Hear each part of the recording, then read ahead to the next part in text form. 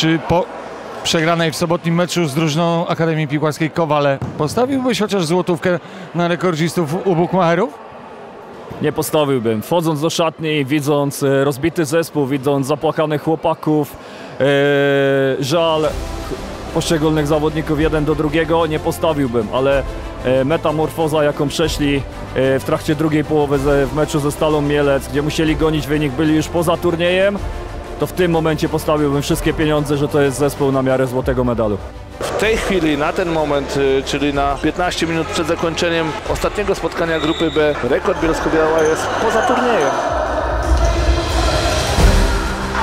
I rekordziści. Jest akcja. Wycofanie i mamy bramkę na 3 do 2.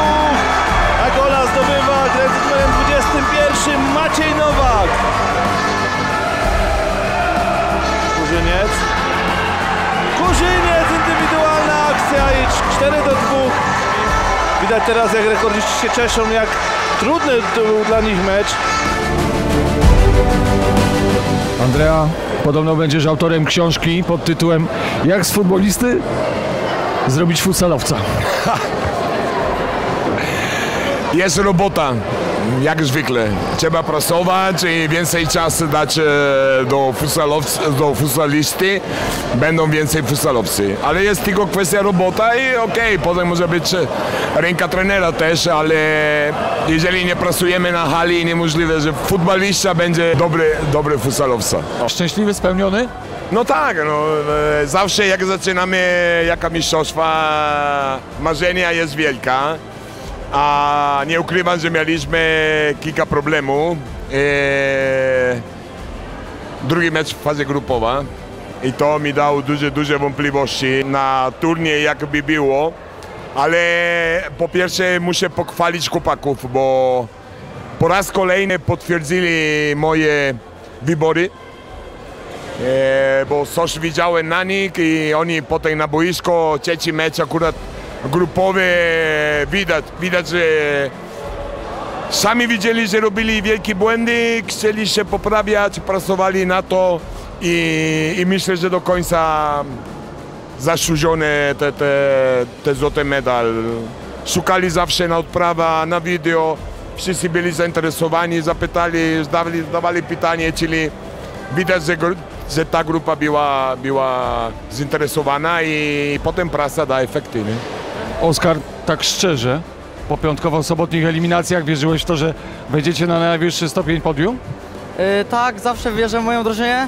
Chociaż mieliśmy ciężki moment z Kowalami, ale później ze Stalą Mielec już zagraliśmy bardzo dobrze. Mieliście świadomość tego, iż przez kilka minut meczu z Mielczanami byliście już out, byliście już poza turniejem? Mie mieliśmy świadomość, ale też Stal Mielec po, po, ca- po przebiegu meczu już e, padła z sił i wiedzieliśmy, że to jest ten moment, żeby to wykorzystać. No to jeszcze jedno pytanie o najtrudniejszy moment w trakcie finałowej części zawodu. Który to był? Najtrudniejszy moment to była, wydaje mi się, że bramka z Gniezdnem na 1 do 0, ale szybko strzeliliśmy bramkę i wyrównaliśmy i daliśmy później czodu. Syrena. Znowu już to spotkanie dobiegło końca. Andrea Buccio. W mojej opinii warto było podjąć się trudu organizacyjnego, patrząc na efekt finalny, czyli Mistrzostwo Kraju Rekordzistów. A w opinii wiceprezesa? E, No to najpierw zacznę od tego, że generalnie opłaca się taki wysiłek podejmować. Podjęliśmy go już e, któryś raz. E, No po to są te obiekty, po to, po to przez tyle lat w nie też inwestujemy, żeby właśnie takie turnieje się tutaj odbywały. To zaszczyt dla nas, że mm, 16 najlepszych ekip w kraju w kategorii 15 zagrało tutaj ten turniej na tej hali. Atmosfera podczas meczy była, była super i to nie tylko rekordu, także byli tutaj kibice i z Ustki, i z Lubawy, i, i z Nowin, także i pewnie jeszcze iluś nie wymieniłem, także ta atmosfera była i myślę, że tej atmosfery, dla tych przeżyć i dla tych chłopaków e, warto było podjąć się a dla nas rekordzistów to, że zdobyliśmy tutaj Mistrzostwo Polskie to taka wisienka na torcie. A od strony stricte futsalowej, no przecież kto jak to, ale ty Piotrek najlepiej potrafisz to ocenić. Umiejętności 15-latków na tym szczeblu.